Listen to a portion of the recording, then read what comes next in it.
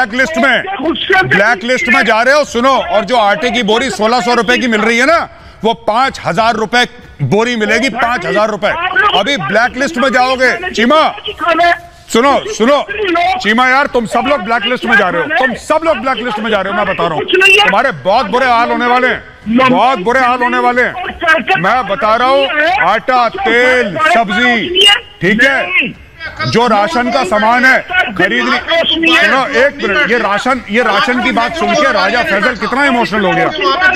सुनो राजा फैजल राजा फैजल बहुत दिक्कत बहुत महँगाई बढ़ने वाली है। ब्लैक लिस्ट में जाओगे। आप ये कह रहे हैं कि हम नवाज़ शरीफ को लेके प्रोग्राम करते हैं। आपने यही बोला। सर एक बात बताइए आप तीन बार उसको वज़ीर आज़म बना सकते हैं तो ठीक है। हमने एक बार प्रोग्राम कर दिया तो आपके सर के बाल उड़ गए। क्या बात कर रहे हैं साहब? आप उसको वोट देके वज़ीर आज़म अपने मुल्क का तीन बार बनाते हैं वो ठीक है। और हमने टीवी का प्रोग्राम कर दिया तो आपकी सांस रुक गई। क्या बात कर रहे हैं? क्या। बात कर रहे हैं साहब? किसने बनाया उसको वज़ीर आज़म? पाकिस्तान ने वोट दिया। आपका वज़ीर आज़म है। आपका वज़ीर आज़म है। कम से कम कम से कम नवाज़ शरीफ में नवाज़ शरीफ में इतनी गट्स थी इतना नवाज़ शरीफ मज़बूत था कि वापस अपने मुल्क आया। आपके कमांडो की तरह नहीं जो छुप के भीगी बिल्ली की तरह बाहर दुबई में बैठा है। जर्नल परवेज मुशर्रफ कावर्ड भगौड़ा है तुम्हारा जर्नल। अच्छा सुनो चैनल को सब्सक्राइब करो उसके बाद घंटी बजा देना ताकि अगली वीडियो आपसे मिस ना हो पाए। दो दो टके का तुम्हारा जनरल दो दो टके का परवेज मुशर्रफ। उसके ऊपर केस हुआ तो बाहर दुम दबा के भाग गया। कभी लंदन में पाया जाता है करप्ट आदमी कभी दुबई में। कम से कम नवाज़ शरीफ में इतना गुर्दा तो था जो वापस आया। क्या बात कर रहे हो? राजा फैजल जी। आपकी इन्वेस्टमेंट थी। ये तो राजा फैजल एक मिनट एक मिनट एक मिनट एक मिनट सो सो एक मिनट कितने एक मिनट क्या क्या किसकी इन्वेस्टमेंट थी? किसकी इन्वेस्टमेंट थी? इन्वेस्टमेंट थी। किसकी? आपकी इन्वेस्टमेंट थी आप अपने चैनल में जाके देखे।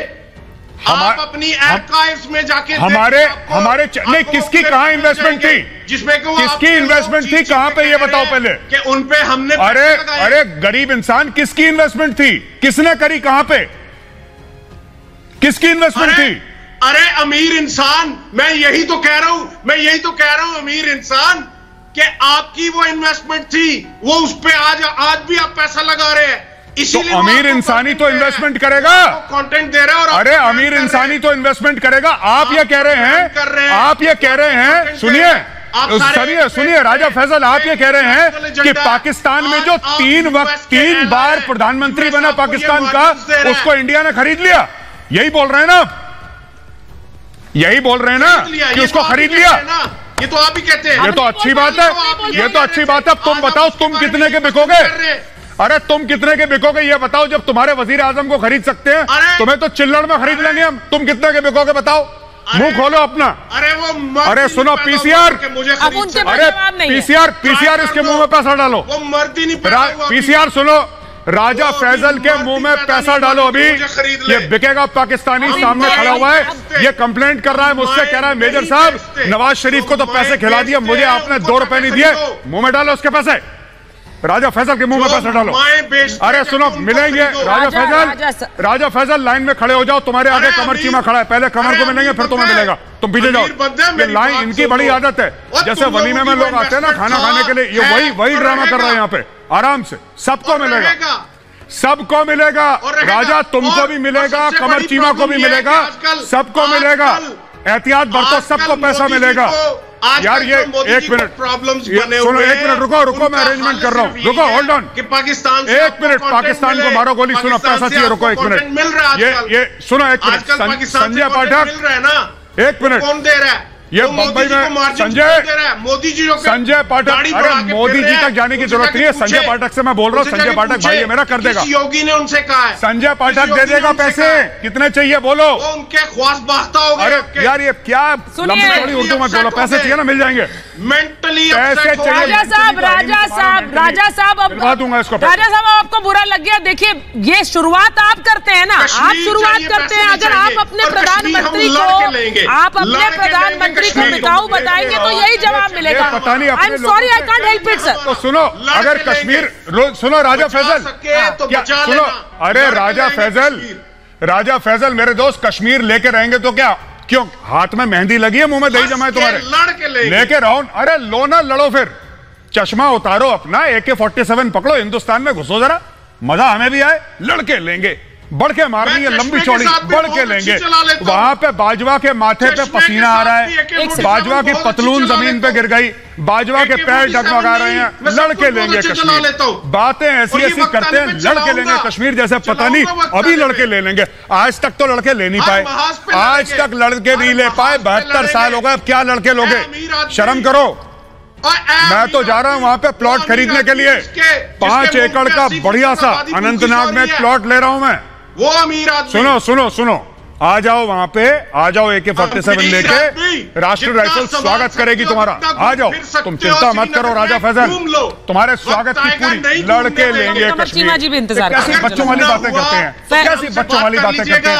तुम्हारा आर्मी तुम्हारे चार चार आर्मी चीफ तो भगोड़े बाहर बैठे। तुम क्या लड़के लोगे यार? ओ कमर चीमा मेरी बात सुन लो यार। एक तो या तो हाँ। सुनो कमर चीमा या तो फ़ोन पे बात कर लो मुझसे बात कर लो। फ़ोन रखो यार पहले तुम। क्या फ़ोन पे किससे बात कर रहे हो? किससे बात कर रहे हो फ़ोन पे? और तेरना नहीं करेंगे यार फ़ोन पे किससे बात कर रहे हो? यार कमर चीमा फ़ोन फ़ोन रखो यार सुनो मेरी बात। अभी सुनो कमर चीमा मेरी बात सुनो। मेरी बात सुनो कमर चीमा मेरी बात सुनो। ये सुनो सुनो कमर चीमा मेरी बात सुन लो। अरे कमर चीमा मेरी बात सुन लो।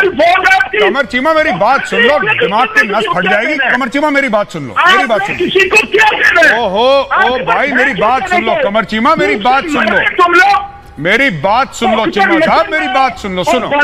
आपने अभी बोला आपने अभी बोला एक मिनट पहले। चीमा साहब जरा सुनिए तो सही चीमा साहब। चीमा साहब चीमा साहब एक बात बताओ।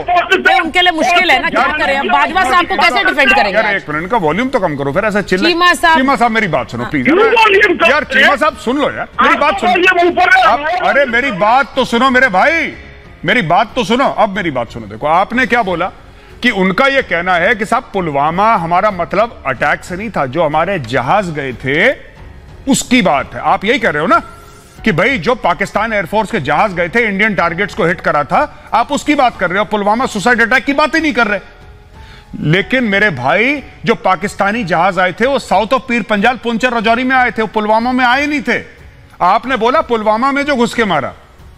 आप सुन तो लो, पुलवामा कश्मीर में है, दोस्त। पुलवामा कश्मीर में है।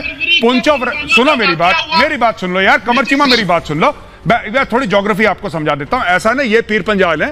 पीर पंजाल के नॉर्थ में कश्मीर है साउथ में जम्मू है। जो पुंचन रजौरी का एक्सेस है ना ये ये ये बिंबर गली ठीक है ना कृष्ण घाटी मेंढर ये जो पूरा एक्सेस है this is south of Pir Panjal. आपके मंत्री ने मुँह खोल दिया पार्लियामेंट में। अब आपको बोला है कि जाओ वहाँ पे इंडियन चैनल पर रायता समेटो। Geographically you're wrong and factually also you're wrong और पाकिस्तानी प्लेन्स तो आए नहीं पुलवामा में। सुनिए, 14 फरवरी ओ भाई साहब आप क्यों गलत बातें कर रहे हो? आप पहले आपका मंत्री एक्सपोज हुआ अब आप एक्सपोज हो गए। अच्छा सुनो चैनल को सब्सक्राइब करो उसके बाद घंटी बजा देना ताकि अगली वीडियो आपसे मिस ना हो पाए। Thank you